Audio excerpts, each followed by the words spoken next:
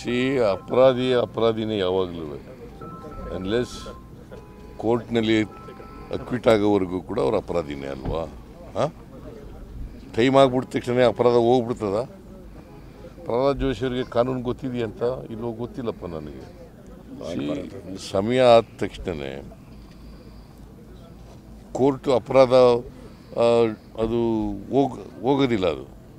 ಅದು ಇರ್ತದೆ ನಾವು ಹೋಮ್ ಮಿನಿಸ್ಟ್ರು ಹಳೆ ಕೇಸ್ಗಳನ್ನೆಲ್ಲ ಚುತ್ತ ಮಾಡಿ ಅಂತ ಹೇಳಿದ್ದಾರೆ. ಅವರು ಅದಕ್ಕೋಸ್ಕರ ಹಳೆ ಕೇಸ್ನಲ್ಲಿ ಯಾರ್ಯಾರು ಇದ್ರು ಅವ್ರನ್ನ ಯಾಕೆ ವಿಚಾರ ಮಾಡಿದ್ದಾರೆ. ಅವ್ರದ್ದು ನೀಚತನ. ಅಪರಾಧಿಗಳನ್ನು ಬೆಂಬಲ ಕೊಡ್ತಾ ಇದ್ದಾರಲ್ಲ ಅವ್ರದ್ದು ನೀಚತನ.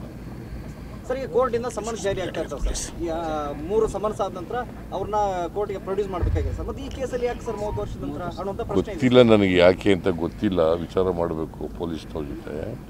ಬಟ್ ಪೊಲೀಸ್ನವರು ಹೋಮ್ ಮಿನಿಸ್ಟ್ರಿ ಏನು ಹೇಳಿದ್ದಾರೆ ಅಂತ ಥರ ಕೇಳಿದ್ದಾರೆ ಅಷ್ಟೇ.